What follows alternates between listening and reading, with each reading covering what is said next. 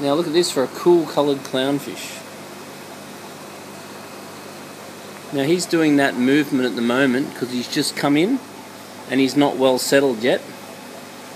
And um, that's the same movement that they normally do inside the anemone.